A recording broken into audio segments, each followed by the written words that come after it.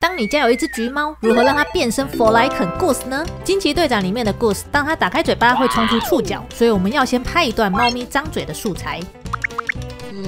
耶，这个嘴巴张很大。猫咪有了之后呢，要来找触角，那就直接拿 Goose 本尊的触角好了。哎，这一段很好，角度很正，触角也很完整，没有被遮到。接着要到特效软体 A 一，要来一个一个硬把这个触角挖下来。一只一只触角挖下来之后呢，就会得到这样一个完整的触角素材啦。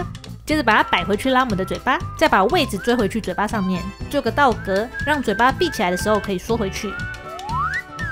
进入调色的部分，做一些阴影、动态模糊，让触角可以跟背景素材融合。再做个整体颜色的调色，也可以让猫咪跟触角更融为一体。最后再帮拉姆加个发光的眼睛，就又更有弗莱肯的感觉啦。哎，等等，你说为什么只有单边眼睛有？呃，就是懒得追另外一只眼睛。